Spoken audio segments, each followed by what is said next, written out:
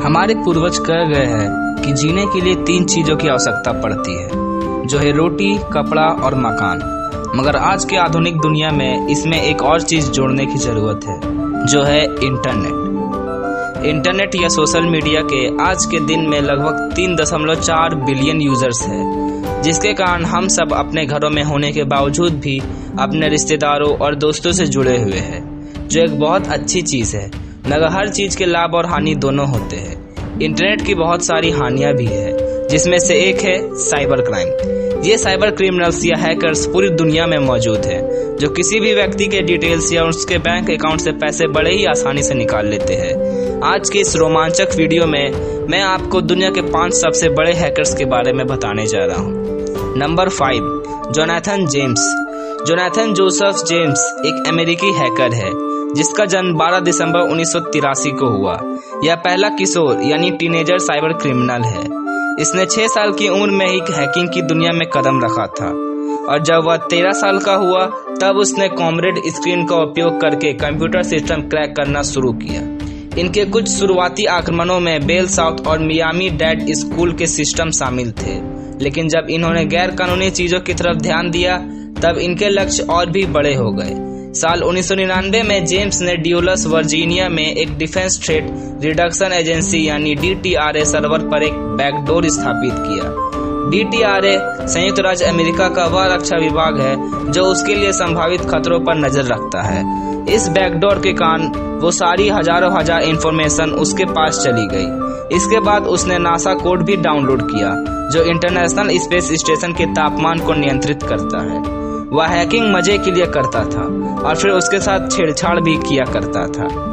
26 जनवरी 2000 को जेम्स को गिरफ़्तार किया गया और 18 मई 2008 को जेम्स ने अपने आप को गोली मारकर आत्महत्या कर ली। Number four, Kevin Mitnick. Kevin Donald Mitnick का जन्म वेन्यूज कैलिफ़ोर्निया में 6 अगस्त उन्नीस को हुआ, लेकिन उसका बचपन लॉस एंजलिस में बीता। उन्होंने कैलिफ़ोर्निया के मोनरो हाई स्कूल में अपनी पढ़ाई की।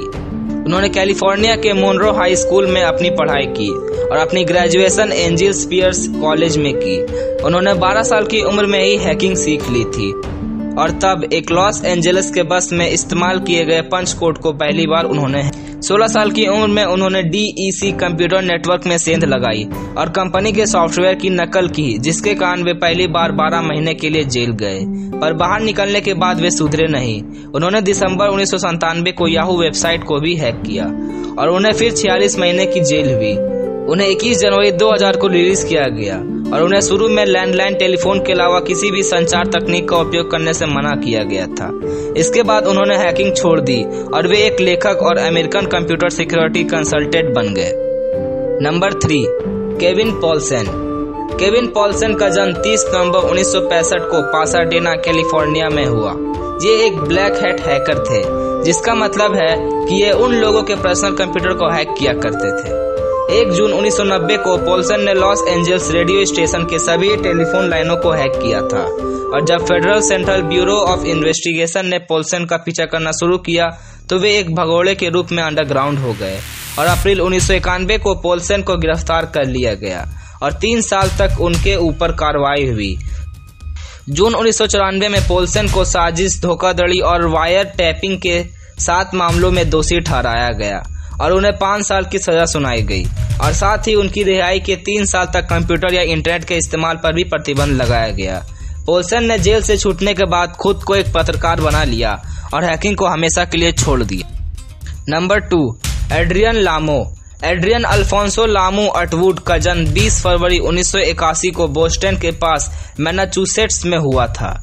उनके पिता का नाम मारियो रिकार्डो लामो था, जो कोलंबियाई थे। लामो एक व्हाइट हैट हैकर थे, जिसका मतलब है कि वे अपनी स्किल्स का उपयोग अच्छे कामों में करते थे। इन्होंने सबसे पहले डब्ल्यू यानी वर्ल्ड वाइड वेब को हैक किया, और उसके बाद उसमें जो सुरक्षा को लेकर खामियाँ थी, उसे ठीक किया। वे चाहते थे कि उन्हें इससे जुड़ा हुआ कोई काम मिल जाए, जिसके कारण वे लोगों की मदद कर सके। मगर जब ये सब ये कर रहे थे, उसी बीच द न्यूयॉर्क टाइम्स ने इनके खिलाफ पुलिस कंप्लेन कर दी, जिसके बाद 15 महीने की जाँच के बाद अगस्त 2003 में उनकी गिरफ्तारी का वारंट जारी किया गया, और 9 सितंबर 2003 को उन्होंने सरेंडर कर दिया। उन्हें दो साल की प्रोबेशन की सजा सुनाई गई, और पैंसठ हज़ार डॉलर का जुर्माना भी किया गया। लामो का 14 मार्च 2018 को विचिटा, कंसास में सैंतीस वर्ष की उम्र में निधन हो गया। नंबर वन गैरी मैकिनन इनका जन्म 10 फरवरी 1966 को हुआ था। ये पूरी दुनिया का सबसे बड़ा हैकर है। मैकिनॉन पर फरवरी 2001 और मार्च 2002 के बीच लंदन में अपनी प्रेमिका की चाची के घर में सोलो नाम का इस्तेमाल करते हुए तेरह महीने की अवधि में संतानवे संयुक्त राज्य अमेरिका के सैन्य और नासा कंप्यूटरों में हैकिंग का आरोप लगाया गया था। उन अधिकारियों ने कहा कि उन्होंने ऑपरेटिंग सिस्टम से महत्वपूर्ण फाइल्स को डिलीट कर दिया और सारे नेटवर्क्स को 24 घंटे के लिए जैम कर दिया। मैकिनन ने सेना की वेबसाइट पर एक नोटिस भी पोस्ट किया था कि आपकी सुरक्षा बकवास है।